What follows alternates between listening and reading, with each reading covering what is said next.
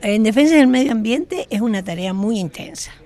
Eh, primero por las pilas que yo le voy a pedir a, Virginia Carrillo, que es la, una de las profesoras que está encargada del CAS que se llama eh, Creando Acciones Solidarias. Eh, y es una acción solidaria que se hace a la comunidad de San Juan. Bueno, en el colegio llevamos, como dice Esther, una tarea bastante intensa desde hace muchos años en el marco de este proyecto Creando Acciones Solidarias, que no solo está vinculada a la recolección de las ah, pilas en en un trabajo coordinado con la Secretaría de Ambiente, sino también en una campaña de recolección de residuos tecnológicos que llevamos. Este año va a ser la quinta edición y que nos vamos con la gran noticia de que en la provincia va a haber un parque tecnológico que va a recibir.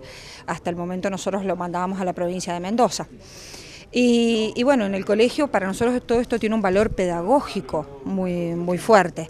Construimos acciones desde el punto de vista solidarios con el medio ambiente, formando a nuestros alumnos en, en la protección del mismo. ¿no? Se hace a lo largo de un día, porque no tenemos espacio de acumulación en el cole. Entonces lo que hacemos es abrir el colegio a la comunidad durante un día, se lleva todo el material ahí con aprobación de la Secretaría de Ambiente y la colaboración de la Municipalidad de la Capital y de la Universidad Nacional de San Juan a través de la eh, promoción de esta, de esta campaña. El tema de las pilas es una tarea que por lo que veo somos las únicas unidades de la universidad abocados a ello, pero yo creo que toda la universidad está en ello. Pero nosotros llevamos ya varios años con el, tema de la recolección de, pilas, todos los nucleamientos, los, edificios de la facultad tienen sus repositorios, así que es una tarea bastante ordenada y disciplinada.